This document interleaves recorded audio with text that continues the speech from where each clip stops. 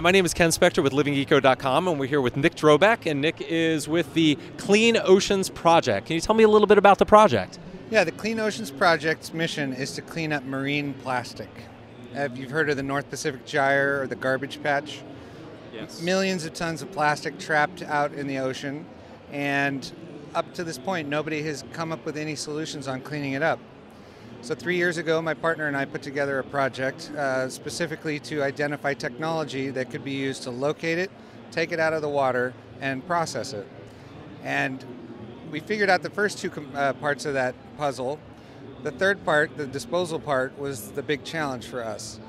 We didn't want to go and put it in a landfill, but we didn't know how we could repurpose all that plastic. There's millions and millions of tons of plastic out there. So when we stumbled across this technology, it was kind of a no-brainer for us because not only does it eliminate the need to go back to land once you've collected it and put it in a landfill, but it also creates fuel to put in the vessel to continue cleaning up. I've heard and I've read that most of the plastic particles out in the ocean are so small that it. Here we go. Do we? Right? Yes. Where's the jar? Oh, here we are. So this is an example. Is this the typical size of the plastics? Was this actually pulled directly out of the ocean? was taken out of the North Pacific Gyre. Um, so plastic goes in, obviously, in the form of bottles, uh, razors, Bic lighters, toothbrushes, clamshell to-go containers, you name it. It goes in as whole pieces of, of whatever these individual items are. Yes. But after they stay out in the ocean for long periods of time, they're exposed to solar radiation, which causes them to photodegrade. That's a process where it becomes brittle and it breaks up into these pieces. Part of our location technology revolves around satellite and radar technology, and what that does is it finds the concentration areas. So, if you if you've ever taken an oceanography class, Oceanography 101 will tell you that the environment organizes that material in what are called windrows or Ekman lines. So the idea, instead of trying to cover the many millions of square miles that are affected, you find the areas where it's more densely populated 20, 30, 50 times as much on these rows as it would be anywhere else in the ocean. Right. So you just go and cherry pick right along the line where it congregates. So, can now here's a machine. This is the uh, this is the Blest Company Limited machine, and what I've heard and what I've seen is this can convert plastics of a variety of types into different types of oil. right. Yes. Now, th- my question is regarding this plastic. This is so small. Is it able to convert this? Could we pour this into the machine and could it convert this right into plastic? It wouldn't make much, but yes, you Yes. can you can take you can take numbers uh, one, two, four, five, and six. Sorry, I forget. I, I get all the numbers mixed up occasionally. Uh, high density and low density polyethylene, polypropylene, and polystyrene. That makes up about 90% of the plastic waste stream. Any of those materials can be put into this machine and converted. That makes uh, the pla- uh, most of the plastic waste stream. Does that make up the most of the plastic waste stream in the oceans? Well, the beauty of it is the two kinds of plastic that it doesn't work well on don't float. So we won't find that out there. Okay. So basically anything in this jar could be converted into its constituent, into oil. Correct. And the reason it's not floating in here is that's alcohol to prevent it from getting uh, mossy and, and yuck. That's why this isn't floating. If you put those particles into a glass of water, they would float. Why is all this plastic ending up in the oceans? Because we're sloppy. Because uh, people everywhere, first of all, we, we sort of live in a bubble here in the United States, and especially here on the coasts. Recycling is a big deal here. You go 100 miles inland, it's not as big a deal there. They don't have the infrastructure in most third world countries to handle their primary waste stream, much less do recycling. So a lot of it comes from third world countries. It's not to disparage third world countries, they just haven't gotten to the point where they can focus on waste stream like we do. Uh, 80% of the material in the ocean is land based, meaning it gets thrown out of the window of a car, blows out of a garbage truck, winds up in a watershed, then in a storm drain, in a river, and it ends up in the sea. The other 20% comes from shipping activities, oil uh, platforms, you name it. Okay. So let's take a look at this. Uh, let's take a look at this Blest machine. How does this work exactly? So, as I mentioned, this is a demonstration model for educational purposes. An actual commercial unit would look very different from this, but this is a single batch unit, whereas a commercial unit would have an auger feed, and so it would be a constant feed of plastic and a constant output of fuel. This does it in two pound batches. So, two pounds of plastic goes in there, a liter of fuel comes in here. There's a two stage chamber, heating chamber, no oxygen at all. There's no combustion, no incineration, no smoke. That's really important for people to understand because when you tell people you're going to convert plastic into fuel, they think, ah, the environmental degradation, the, the fumes, the emissions are going to be awful. There's no combustion happening in here. Heats it up to 800 degrees Fahrenheit. It liquefies the plastic, then it vaporizes it, comes through this tube here, and it gets reconstituted in this water. Now, in a commercial system, there would not be a water chamber. This is just so people can see what's happening and why it works. In a commercial unit, there's a chilling uh, chamber, coils, and, and a cooling chamber to reconstitute it into a liquid. Do you know about the price, not of this unit, but the uh, approximate price of the commercial units? Yeah, well, they range in they range in size based on the input. So a unit that takes 275 pounds in a 24-hour period, it's about 125 to 150 thousand dollars. The biggest unit takes uh, 2,700 pounds in a 24-hour period, and I believe that one's about $700,000. So, what is some of the resistance from, let's say, recycling facilities that recycle plastic?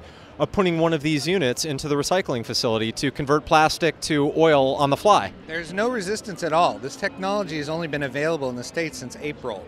Okay. So it's just a matter of us getting out there and putting the information in the right hands. The arguments that I have heard is that a lot of the plastic is so small in the ocean that a machine like this might not be able to work on. But you're saying it would indeed work on tiny particles of plastic to convert them over into Size oil. particles doesn't really matter. In fact, what you would do in a commercial system is if you had a bottle or a, a container of some sort made out of plastic, you put it sh- through a shredder to make it small. You want the pieces to be small because the, the auger that feeds it into the heating chamber needs the pieces to be small to digest. Yes. So the size, the relative size of the particles is totally irrelevant. If it's petroleum based and it's not a PVC or a nylon, it goes right in.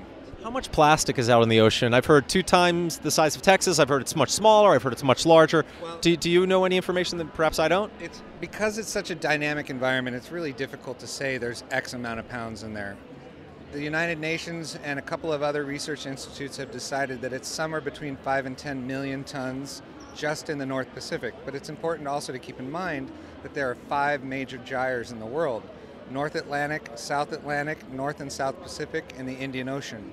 They all contain roughly the same amount of plastic. Now, the one thing that the media has sort of done to confuse people is they've called it an island. There is no island. There's no carpet of plastic. There's no mass. You couldn't fly over it and look at it in a plane. It's more like a soup.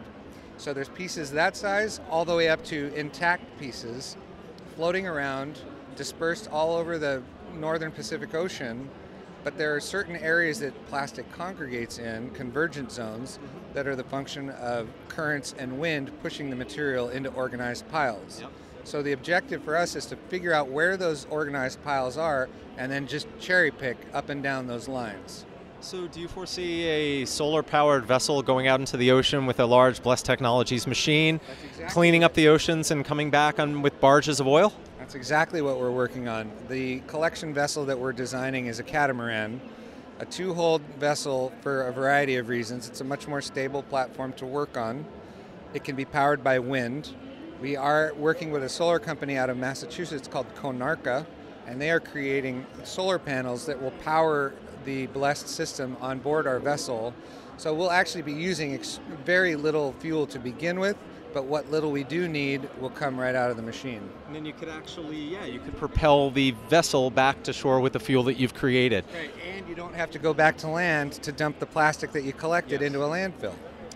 What? How many gallons of oil make you know the, the Blest technology could convert from plastic would you estimate are in the ocean right now what is the value of that plastic in current dollars if you figure you get about a gallon of fuel out of eight pounds of plastic it's a hard math calculation to do in my head but let's say out of 10 pounds you get a gallon um, i think the last time we calculated it was somewhere on the order of 2 billion gallons four bucks a gallon retail that's easy math. This is not intended to supplant any sort of uh, existing fuel sources. This is merely a way to repurpose what's currently being considered a waste product, creating value out of that waste product. What is the residue of this process? Great question. So, as I said, oxygen free environment, no combustion, there is a little bit of CO2. The smallest commercial unit generates about as much CO2 as two people breathing in a 24 hour period. There's also a little bit of water vapor. And at the end of the month, there's a, a char uh, receptacle in the bottom that needs to be cleaned. But if you're operating this thing at 24 hours a day, seven days a week, you would generate about a cup full of char at the end of a month. And, that, and that's a carbon, it's an inert uh, substance, can be put, not dangerous at all, can be put into your compost pit, can be put into roadbed, it could be put into a landfill. But again, you're reducing the volume of it so dramatically and it's inert. Seems like Blest Technologies is onto something huge in terms of being able to convert a waste stream into something that's literally liquid gold. I mean, it's it's it's it's very valuable in this country and around the world. We still have to stop polluting our waters with plastic, though. Absolutely. This is not an excuse No. to continue to pollute the oceans. No, and, and that's one of the biggest messages that we try to get out to people. We are but one solution, one possible solution to the overall problem. It's not a silver bullet. No matter how successful we are at cleaning it up and processing it into fuel, if people don't change their habits on land, the problem's going to persist because we can never take out as much as we're currently putting in. So what we try and encourage people to do is first and foremost refuse. And it's not we're not against all plastic because there are certain things that have to be made out of plastic. Computer cases, automobile parts, medical equipment. We're not anti-plastic. What we're anti is the single-use plastic, the water bottles, the coffee cup lids, the stir sticks, the drinking straws. The stuff that was made to last you about 3 or 4 minutes to use will live in the environment for 50 to 100 years. That's what we want to get rid of. What problems is this causing in our oceans? Where to begin? So let's start with the big and work to the small. One of the biggest problems in the ocean right now are ghost nets, and ghost nets are nothing more than derelict fishing gear, all made out of HDPE and LDPE. So when you get a commercial vessel that's using a long line or a big drift net, when those break free from a boat, nobody bothers to go back and pick them up because it's too time consuming to untangle them and bring them back on board and, and get them fishing again. So they just abandon them. They continue to fish, they continue to kill things, and then over time they wrap up in a ball like a hairball. Those hairballs of net end up being a navigational hazard for vessels. They get stuck in a propeller and you can disable a large ocean going freighter to the point where somebody's got to go out and pick it up and drag it back in. When those net balls get in close to shore, they act like a battering ram in uh, near-shore environments. Reef systems are, are the biggest victims of this. You get a little bit of tidal surge behind a net ball, and it can bulldoze a reef instantly. Once it hits dry land, it opens up like a carpet, and it kills everything else underneath it. So that's number one. Number two is the entanglement issue. If you look in our pamphlet, we've got an awful picture of a sea lion that's been caught in a fishing net. We've got plenty of pictures of, of birds that have ingested plastic and died because it, it takes up all the room in their stomach and they can't take nutrition in. But probably the biggest thing and the thing that we should most be concerned about as humans is that the plastic particles have this way of absorbing ambient chemicals out of the ocean water. And when fish mistake those particles of plastic for food, they ingest them and they absorb the chemicals into their flesh. And pretty soon it works its way up the food chain into your halibut, your swordfish, your tuna, and then you're eating the same chemicals that were all over that plastic. Have you seen any studies on our fish supply as far as I'm just curious how many fish uh, uh, populations have been studied for the amount of chemicals or plastics that they have ingested and are in their systems. You know, I know that those statistics are out there. I would not be the one to quote them because I'm sure I'll get them wrong. But I do know that the Five Gyres Institute and Algalita Marine Research Foundation have done surface tows and they have fished uh, on some of these trips and they have taken samples, cut open bellies of fish, and found plastic particles. In fact, I'll show you. Take a look here. So this fish is what's called a rainbow runner. And this fish was actually caught by Marcus Eriksen, Dr. Marcus Eriksen of the Five Gyres Institute. He had actually intended to eat this fish for dinner while they were on one of their voyages. Mm-hmm. And during the preparation of that fish for dinner, they found 17 pieces of plastic in the gut. So all of those pieces are exactly the same size as that. That fish is probably a foot, foot and a half. And any of those pieces of plastic were probably laden with all the chemicals that I was just describing. And that's the picture of the sea lion right there. Wow. the Clean Oceans Project, what do you need to see the a greater success or the uh, proliferation of your message from the Clean Oceans Project? Obviously, money and donations, but what else do you need to see for your message to get out there to the masses? Partnerships. What type of partnerships are you looking for? We're working with any organization that has a, has a similar goal in mind to clean the oceans and prevent plastic from getting in there in the first place. Uh, we're talking to a lot of different companies who are interested. Nobody's actually stepped up and written a check yet. But with the addition of this new technology, I have a feeling that that's going to change. What is their resistance? Why are they not stepping up to plate? Well, variety of things. First of all, out of sight, out of mind. If you live more than 50 miles away from the coast, you don't spend much time on the beach, you don't see a lot of plastic. If you live in the middle of the country, you figure, eh, you know, I've got my own problems. Well, the problem is if you eat fish, and most Americans eat fish at some point in their diet, they're ingesting fish that potentially have these chemicals in them. So, out of sight, out of mind, big problem. Until now, there hasn't really been a viable solution, and we're doing our best to get the word out there and let people know that there is a solution. This is basically a problem that is has been uh, occurring for as many years as plastic has been on the planet. They and found plastic out in the gyre dating from World War II. How long does it take for this plastic to break down into what something that's probably more deadly, which is microparticles of plastic? Is that what it ends up as? So it never. It, when I said the term photodegrade, that's the process that plastic goes through to be become smaller and smaller particles until it becomes a dust, and then it settles to the bottom as it as it bioaccumulates. As you get you know that sea slime on that is on everything in the ocean, it becomes ne- negatively buoyant and sinks to the bottom. So over time, it will end up carpeting the bottom of our of our seafloor. And what problems does that cause? Well, aside from the fact that we shouldn't be dumping in the ocean in the first place, uh, there are lots of animals that survive on the bottom of the ocean. Yes. And has the impact been studied as far as what these plastic particles do once they sink to the bottom of the ocean? Again, I'm sure that that study has been done, but I'm, I'm not familiar enough with the statistics to tell you. Okay.